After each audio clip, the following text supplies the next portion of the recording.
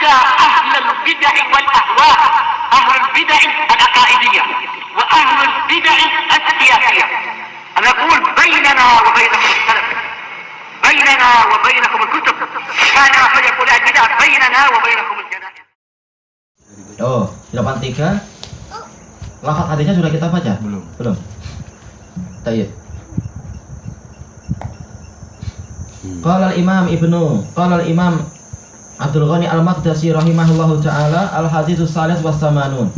Hadis yang ke-83.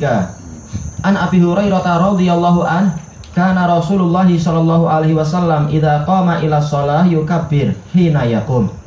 Rasulullah SAW itu selalu apabila beliau bangkit untuk sholat, beliau takbir ketika berdiri. Takbiratul ihram. Summa yukabbir hina yarfa. Kemudian eh, hina yarka. Kemudian beliau takbir ketika beliau itu ruku. Ini salah satu pendalilan ulama, memang ini khilaf. Tapi ini juga pendapat yang benar bahwasanya takbir itu bersamaan dengan amalannya itu. Bukan takbir selesai kemudian baru dia ruku misalkan, tapi bersamaan. Ini yang dirajakan oleh Ibnu Qudamah. Dia bersamaan. Wa yaqul eh, summa yaqul kemudian mengucapkan sami Allahu liman hamidah hina yarfa'u sulbah. Ketika Rasulullah mengangkat tulang belakang beliau. Sulbah. Eh, ataukah tulang rusuk? Ya tulang rusuk. Kalau sulub sih tulang rusuk. Tapi jelas semuanya terangkat. Minar ruku dari ruku. Summa yaqul wa huwa qa'im. Kemudian beliau berkata dalam keadaan berdiri Rabbana walakal hamd. Jadi ucapan ini adalah setelah tegak berdiri. Summa yukabbir hina yahwi. Kemudian beliau bertakbir ketika beliau turun. Hawiya yahwi yaitu jatuh maksudnya ya turun ya. Kalau hawa oh apa? Hawiya yahwa hawiya yahwa itu adalah cinta. Kalau hawa yahwi maka dia itu adalah turun. Al-muhim dia yaknya harus di kasroh kalau yaknya tidak di kasroh yahwa berarti apa? Mencintai. Summa yukabbiru hina yarfa'u ra'sah. Kemudian beliau bertakbir ketika mengangkat kepala. Mengangkat kepala dari sujud itu Summa yukabbiru hina yasjud. Kemudian beliau bertakbir ketika sujud. Summa yukabbiru hina yarfa'u. Kemudian beliau bertakbir ketika mengangkat kepala. Ini masalah ucapan takbir, bukan masalah angkat tangan. Asal angkat tangan sudah lewat. Tapi lafaz takbir.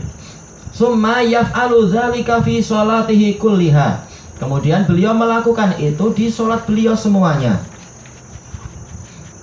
hatta yaqdiyaha sampai beliau menyelesaikan sholatnya. Wa yukabbiru hina yaqumu minas sintain ba'dal julus. Dan beliau juga bertakbir ketika bangkit dari dua rakaat itu setelah duduk. Di akhir hadisnya Abu Hurairah mengatakan wallahi ana la asbahukum sholatan bi Rasulillah SAW aku adalah orang yang paling mirip sholatnya dengan Rasulullah SAW ini disebutkan Abu Hurairah ketika beliau apa? Jadi amir di Madinah jadi gubernur di Madinah. Beliau melihat bahwasanya sunnah ini dimatikan oleh Bani e, Bani Umayyah. Bani Umayyah mengfatwakan tidak takbir. Maka kebanyakan para imam di situ imam-imam sholat mereka tidak takbir. Maka ketika Abu Hurairah jadi jadi gubernur sebelum tahun 50 Hijriah itu maka beliau mencontohkan bagaimana cara sholat yang benar. Maka disebutkan di sini selalu beliau takbir menunjukkan apa? Para tabiin melihat bahwasanya beliau melakukan perkara yang tidak dilakukan oleh kebanyakan kebanyakan apa? Umarok dan para imamnya di situ. Tidak bertakbir. Maka Abu Hurairah mengeraskan takbir mengat, terus terakhir mengatakan inilah yang aku lihat dan aku yang paling mirip dengan sholatnya Rasulullah. Kemudian kita langsung tambah satu lagi. Al hadis Rabi was samanun hadis yang ke-84 An Mutarif bin Abdullah bin Syekhir dari Mutarif bin Abdullah bin Syekhir qal Salaitu ana wa Imran bin Husain khalfa Ali bin Abi Thalib radhiyallahu anhu. Imran bin Husain radhiyallahu anhuma, ayahnya juga sahabi. Saya dan Imran bin Husain Mutarif ini tabi'i. Ayahnya Abdullah bin Syekhir sahabi punya hadis. Salat dengan Imran bin Husain di belakang Ali bin Abi Thalib radhiyallahu an. Fakana idza sajada kabar. Beliau selalu kalau sujud beliau bertakbir. Wa idza rafa'a ra'sahu kabbar. Kalau mengangkat kepala, beliau juga bertakbir. Wa idza nahadha min rak'atain kabbar. Kalau beliau bangkit dari dua rakaat, beliau bertakbir.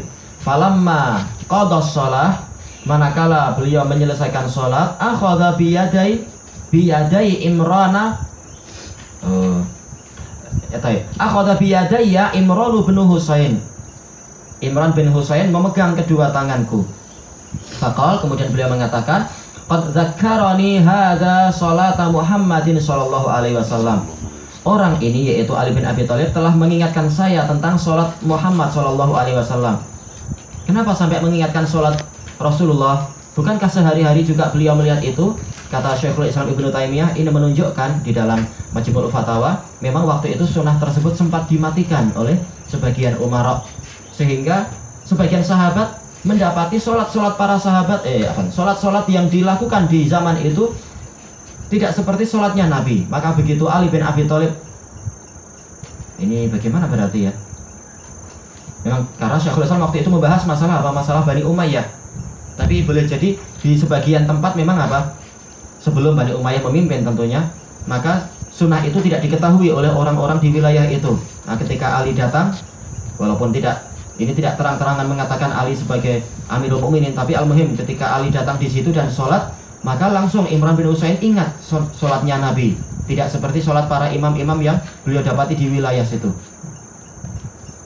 Awqal sholabina sholata Muhammadin sallallahu alaihi wasallam atau Imran mengatakan sungguh Ali bin Abi Thalib ini telah mengimami kami dengan cara sholatnya Muhammad sallallahu alaihi wasallam. Tayyib ilahuna wallahu ta'ala a'lam. Subhanakallahumma wa bihamdika la ilaha illa anta astaghfiruka wa atubu ilaik. Alhamdulillahirabbil alamin.